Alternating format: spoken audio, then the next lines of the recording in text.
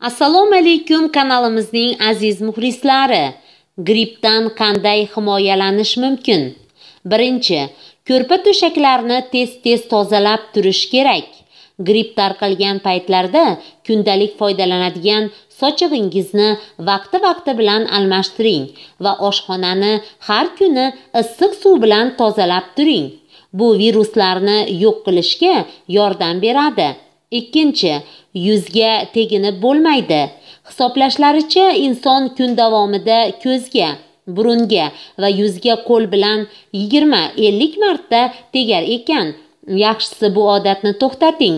Sababi eshik tutqichini yoki biror buyumni ushlaganda barmoqlarda virus va bakteriyalar o'rnashib qoladi va ular grippni keltirib chiqarishi mumkin.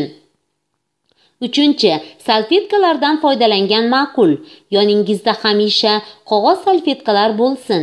Jamoat joylaridagi mikrob ko'p to'planadigan joylar, ya'ni eshik va jo'mrak tutqichlarini shu qog'oz salfetkalar yordamida ushlang. Agar aksirmoqchi yoki yo'talmoqchi bo'lsangiz, og'zingizga salfetka tuting. Kaftni og'izga tutish yaramaydi. To'rtinchi, asabiylashmaslikka harakat qilish lozim.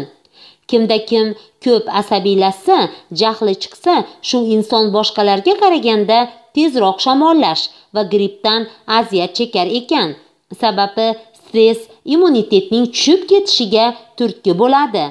Yana yaqinlaringiz va shifokoringiz bilan maslahatlashing.